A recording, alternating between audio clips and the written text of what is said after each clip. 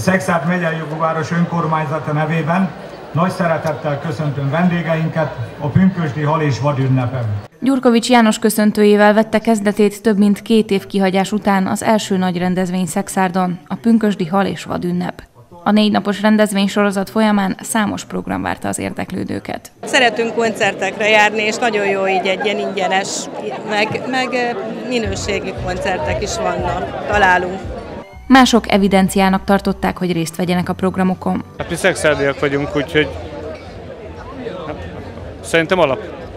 Tehát be kéne jönni ide a, a városközpontba egy pohár borra. Volt, aki egészen más okból látogatott ki a rendezvénytérre. Unatkoztunk otthon, és benéztünk. Egy- egyébként nem tudom.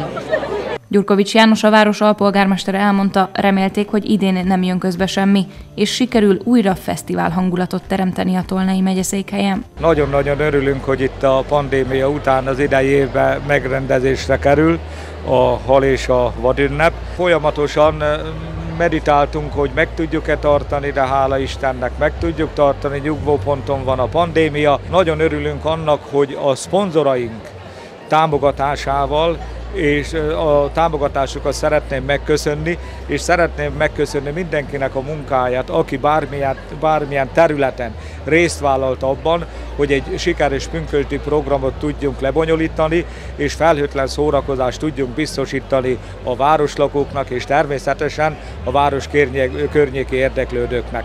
Berlinger Attila, a Babics Mihály Kulturális Központ igazgatója is felszólalt a megnyitón. Ő a szervező intézmény dolgozóinak köszönte meg azt a munkát, amivel ez a fesztivál létrejöhetett.